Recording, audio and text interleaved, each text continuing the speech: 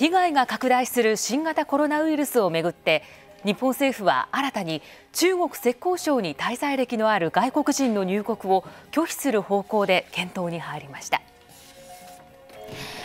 日本政府は新型コロナウイルスの感染拡大防止に向け新たに中国浙江省に滞在歴がある外国人の入国を拒否する方向で検討に入りました。政府はすでに武漢市がある湖北省からの入国を拒否していますが浙江省でも感染が広がっているとして対象を拡大します。浙江省は上海市に隣接していて日系企業は2018年12月時点でおよそ3400社が進出しているということです。パナソニックが去年中心地に大型ショールームパナソニックセンターを開設したほか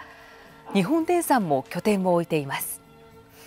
日本政府は感染者数の推移や中国側の対応措置などを見て浙江省の入国拒否について最終判断する考えです。また WHO 世界保健機関のテドロス事務局長は11日新型コロナウイルスによる肺炎の正式名称を COVID-19 に決めたと発表しました。風評被害などを避けるため地名などを使うことは避けました。